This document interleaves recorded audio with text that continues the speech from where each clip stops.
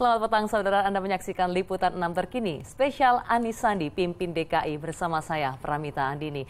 Saudara pasangan Gubernur dan Wakil Gubernur DKI Jakarta, Anies Baswedan dan Sandiaga Uno, resmi memimpin Jakarta lima tahun ke depan.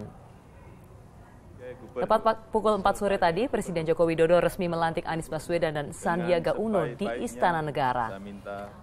Selain mengucapkan sumpah dan janji jabatan, keduanya juga menandatangani berita acara pelantikan. Kemudian dilanjutkan dengan menyanyikan lagu kebangsaan Indonesia Raya.